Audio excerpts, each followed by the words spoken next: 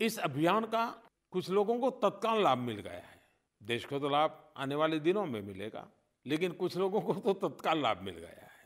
थोड़ा हिसाब पूछा क्या हुआ है तो मैंने छोटे छोटे जो शहर है, वहाँ की थोड़ी जानकारी पाई।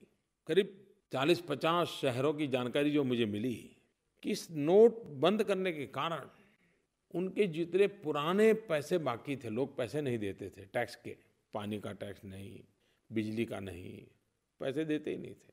और आप भली जानते हैं, गरीब लोग दो दिन पहले जाकर के पाई पाई चुकता करने की आदत रखते हैं। ये जो बड़े लोग होते हैं ना, जिनकी पहुँच होती है, जिनको पता है कि कभी भी उनको कोई पूछने वाला नहीं है, वही पैसे नहीं देते हैं। और इसके लिए काफ़ी बकाया रहता है।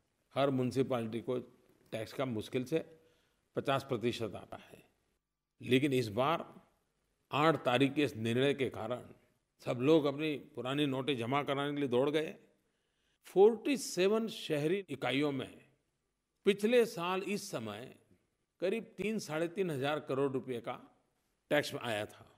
आपको जानकर के आश्चर्य होगा, आनंद भी होगा, इस एक सप्ताह में उनको तेरह हज़ार करोड़ रुपए जमा हो गया।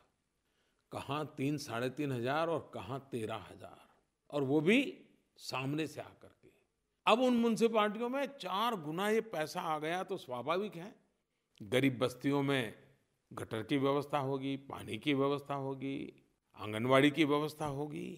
ऐसे तो कई उदाहरण मिल रहे हैं कि जिसमें इसका सीधा सीधा लाभ भी नज़र आने लगा है।